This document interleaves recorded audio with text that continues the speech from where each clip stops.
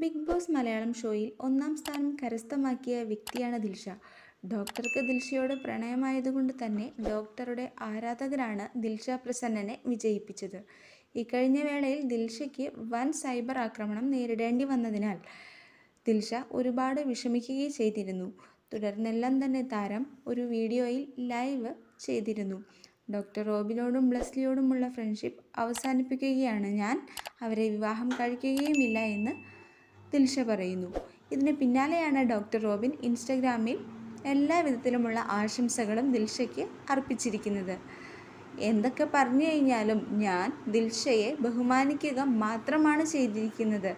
Doctor Robin ഈ വിഷയത്തിൽ നേരിട്ടുള്ള ഒരു പ്രതികരണം കൂടി നടത്തിയിട്ടുണ്ട്. ഓൺലൈൻ മീഡിയയിലാണ് ഡോക്ടർ റോബിന്റെ പ്രതികാ പ്രതികരണം ആരാധകർ എത്തിച്ചത്.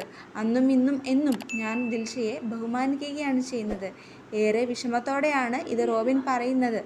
എങ്കിൽ പോലും ദിൽഷയ്ക്കെന്നും സന്തോഷകരമായ നിമിഷങ്ങൾ ഉണ്ടാകട്ടെ എന്നും ഡോക്ടർ റോബിൻ ആശംസിക്കുന്നു.